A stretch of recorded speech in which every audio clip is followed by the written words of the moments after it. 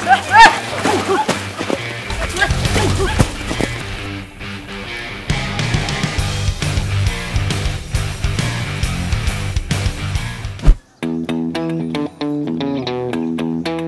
ini, aku harus mengantar pakan kambing ke desa Kledung Karangdalem, Kecamatan Banyuurip, Kabupaten Purworejo.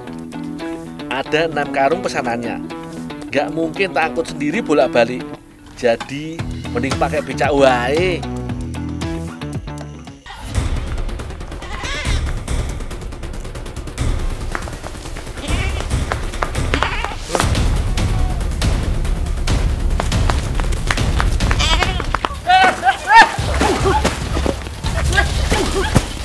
Apa tuh, Pak? Enggak jadi wae. Jadi wae. Becakku jepale iki lho. Kenapa apa, Dul? Lah saya kok tak ewangi niku kok. Bener Dul? becak sik. Iya, Dul. Becak. Dul, Dul, cepet, Dul. Oh, Jian. Gara-gara wedus. Jadi jumlatan toh becake. Tapi sebenarnya kasihan juga kambingnya jadi kabur. Yo wis lah, kudu dibantu dhisik iki.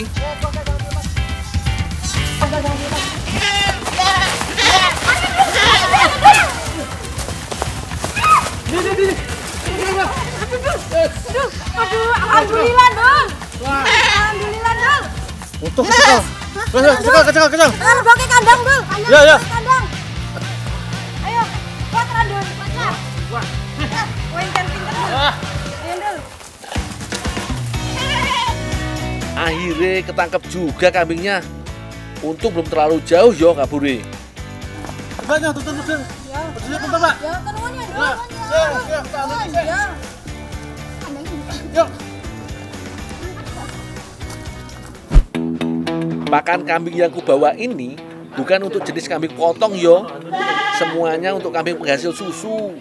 Kalau yang dipelihara di sini ada kambing sanen dan etawa.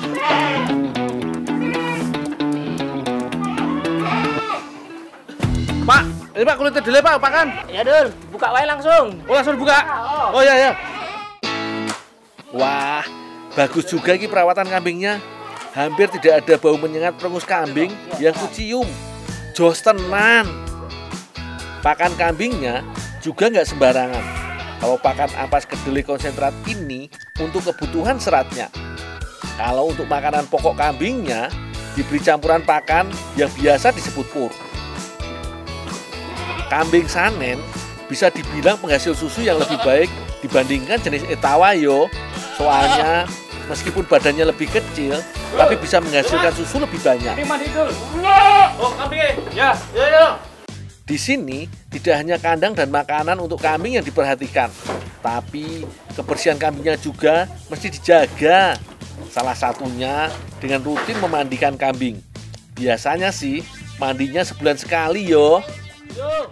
Kalau memandikan kambing, sebaiknya saat ada sinar matahari yo, paling pas antara jam 9 pagi sampai 11 siang. Jadi, selesai mandi, kambing bisa lebih cepat kering. Kalau kelamaan keringnya, kambing bisa kedinginan atau kembung. Koyo manusia wae yo. Teman-teman, begini nih tips supaya eh, susu kambing bisa keluar maksimal. Jadi sebelum diperah, eh, kambingnya itu harus dipijit-pijit dulu supaya dia rileks. Karena kalau dia rileks, eh, dia bisa mengeluarkan air susu secara maksimal. Boleh dicoba.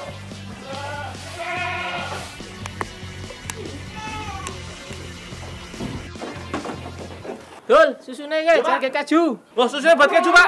Oh, ya, Pak. Ya. Seperti susu sapi, susu kambing bisa dimanfaatkan jadi minuman atau olahan lain seperti keju. Kalau mau buat keju susu kambing, nggak sulit kok. Susu kambing dipanaskan dalam panci dengan api kecil. Harus terus diaduk yo, agar susunya tidak pecah. Untuk menggumpalkan susu, bisa ditambah air perasan lemon. Kemudian tunggu selama 15 menit.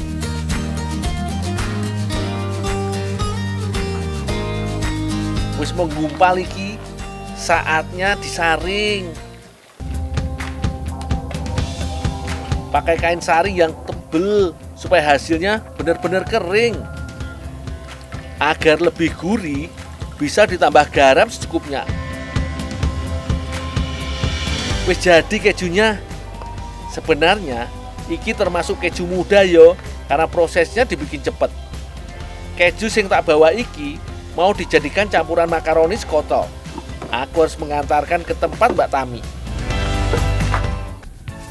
Mbak Tami dan Mbak Hana lagi nyiapin bumbu dan bahannya. Ada bawang bombay yang dipotong kecil-kecil. Bawang bombay tidak hanya memperkaya rasa makanan yo, tapi wakeh manfaatnya. Salah satu nih menguatkan kekebalan tubuh. Biasanya makaroni skutel pakai daging sapi atau ayam. Tapi kalau yang ini diganti jamur supaya lebih sehat. Bahan lainnya ada wortel, bayam, dan seledri. Mantep iki, vitamin dan mineralnya. Wis rampung rajang-rajange. Masak neng dapur ya? Yuk.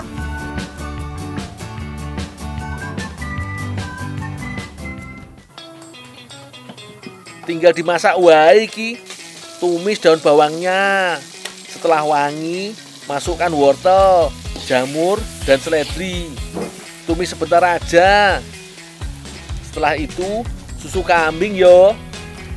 Tunggu sampai mau mendidih. Baru tambahkan bayamnya. Untuk mengentalkan, masukkan keju dari susu kambing. Sekarang tinggal bumbu pelengkapnya yo. Pala untuk menambah cita rasa dan aromanya. Terus tambahin garam supaya pas gurihnya. Wits, ojo lali. Masukkan makaroni rebusnya.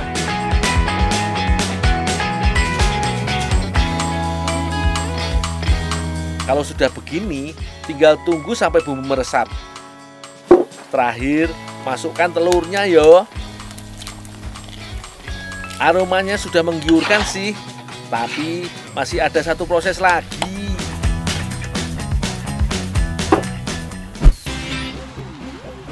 Makaroni akan dikukus, pindahin ke cetakan, kemudian tambah keju muda dan parsley.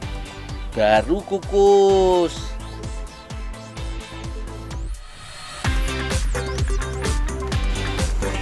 Nggak perlu lama-lama mengukus, setengah jam aja. Makaroni skutel siap disantap.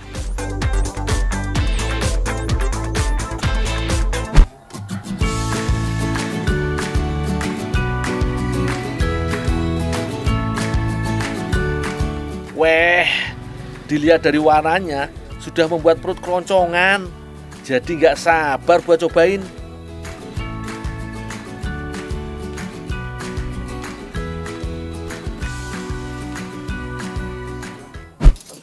Ndul, makaroni skotel susu kambingnya wis mateng. Ini dari susu kambing tadi. Iya. Ayo mas, dicipi mas. Dicipi.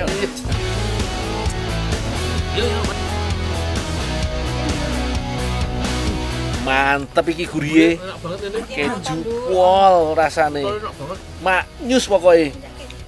Jangan bayangin ada bau kambing. Ah, Blas, nggak ada sama sekali. Susu kambing apa tadi? Semua bumbu dan keju meresap sempurna dalam makaroni yang lembut.